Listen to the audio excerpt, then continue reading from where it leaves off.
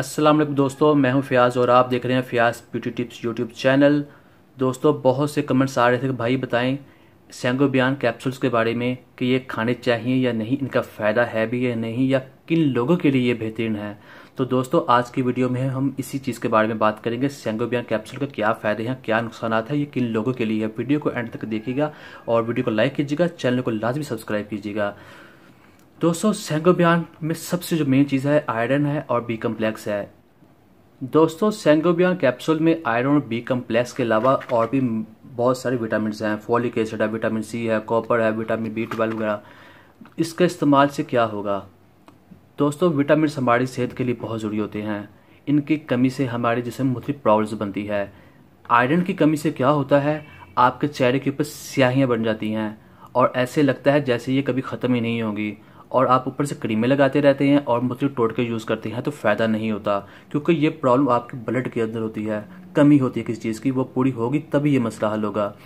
اور جو be complex ہے، اس سے آپ کے جو خون کی کمی ہے، وہ پوری ہوتی ہے۔ ان دونوں چیزوں سے کیا ہوتا ہے؟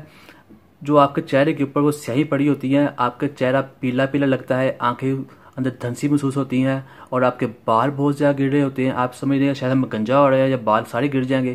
یہ مختلف کمزوری ہوتی ہے ان وٹامنس کی کمی کی وجہ سے۔ اس کے اندر یہ آئرن اور بی کمپلیکس بہت زیادہ ہے۔ اس کے استعمال سے کیا ہوگا کہ آپ کے اندر جو خون کی کمی ہے وہ پوری ہو جائے گی، جس سے آپ کا چہرہ تر و تازہ اور بہت اچھا لگے گا، جیسے اس کو نئی زندگی مل گئی ہے اور آپ کا کلر گلو کرے گا۔ اور اس کے علاوہ جو آئرن ہے، یہ آپ کے چہرے کے اوپر جو سیاہی ہیں، وہ ختم کر دے گا اور آپ کا چہرہ جو ڈل لگتا ہے اور وہ جو آنکھیں بالکل یلو کلر کی لگتی ہیں، وہ بھی ٹھیک ہو جائیں گی۔ آپ کے بال چمکدار ہوں گے اور آپ کے نیلز بڑھیں گے۔ اس کے تو وٹامن سی ہے، جو آپ کی اسکن کو برائٹ کرتا ہے، اس کو ایکنی سے بچاتا ہے اور کفتے مدافع پیدا کرتا ہے۔ یہ ساری چیزیں اس وٹامنس کے اندر ہیں۔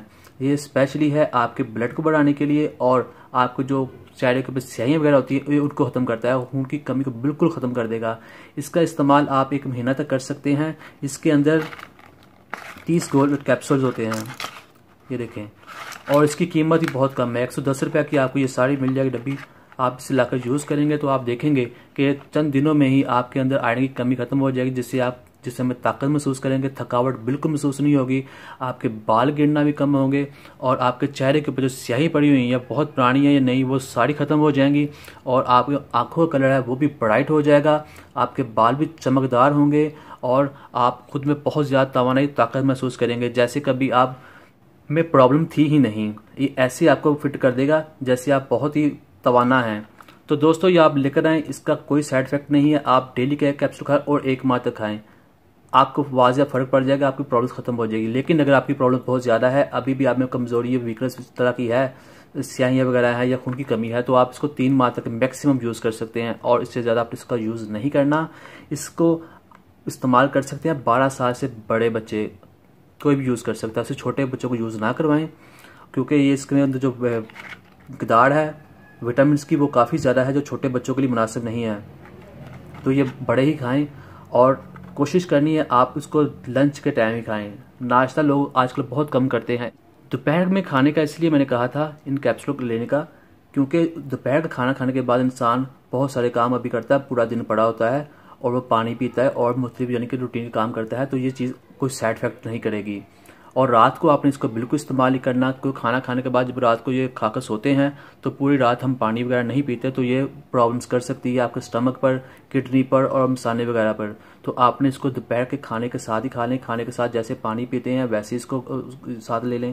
تو یہ آپ دیکھیے گا، ایک ڈیڑھ ہفتے میں ہی آپ کو واضح رزلٹ نظر آئے گا۔